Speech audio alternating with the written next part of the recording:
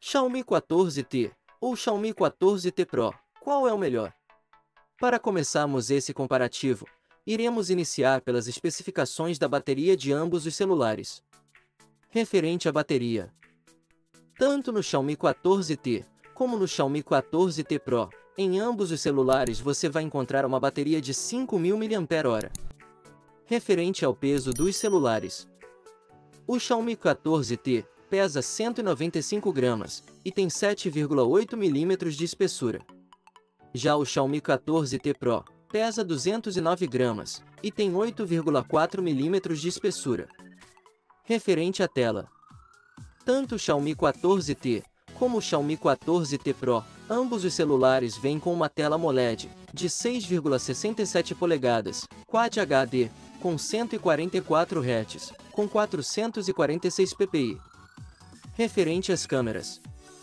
Tanto no Xiaomi 14T como no Xiaomi 14T Pro, em ambos os celulares você vai encontrar um conjunto de câmeras triplas, cuja câmera principal é de 50 megapixels, e mais uma câmera de 12 megapixels ultra-wide, e a outra é uma câmera de 50 megapixels telefoto. Já na câmera frontal, tanto o Xiaomi 14T como o Xiaomi 14T Pro, ambos os celulares vêm com uma câmera frontal de 32 megapixels.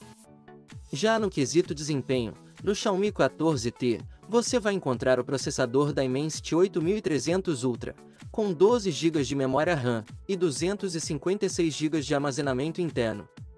Já no Xiaomi 14T Pro, você vai encontrar o processador Dimensity 9300 Plus, com 12 GB de memória RAM e 256 GB de armazenamento interno. Bom, após algumas pesquisas e testes realizados, o Xiaomi 14T Pro se saiu melhor nessa. Mas e para você qual é o melhor? Xiaomi 14T ou Xiaomi 14T Pro? Deixa aí abaixo nos comentários. Então é isso, por hoje é só.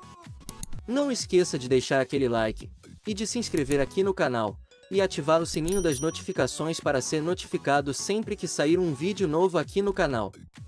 Espero que você tenha gostado do vídeo, vou ficando por aqui, e até a próxima.